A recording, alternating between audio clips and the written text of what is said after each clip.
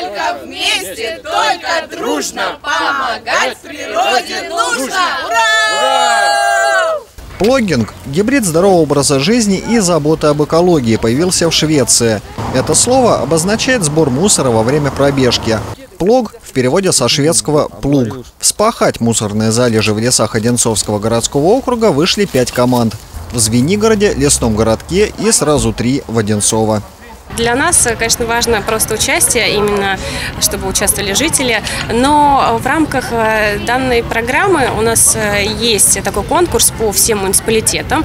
Тот, кто больше соберет мусор, они побеждают. Но в связи с тем, что, как мне кажется, наш Одинцовский городской округ он достаточно чистый, в связи с тем, что постоянно приходят, проходят различные субботники, я думаю, что э, в рамках как бы, количества мусора мы, конечно же, не займем лидирующую позицию. 30-градусная жара не остановила участников акции. Пробежали от администрации по городу и по Душкинскому лесу. Не остались в стороне и активисты общественной организации «Супермамочки Одинцова». Вопреки ожиданиям, в лесу обнаружили немало мусора.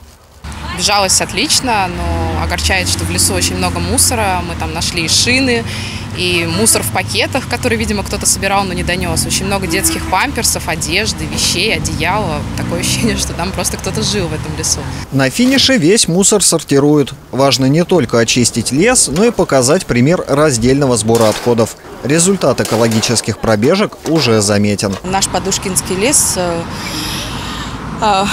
не в очень, э, не в очень хорошем состоянии, вот. но, знаете, э, по сравнению с прошлым годом мы также делали такие забеги, вот, ну, совместно с молодежью, и я хочу сказать, что ситуация намного лучше.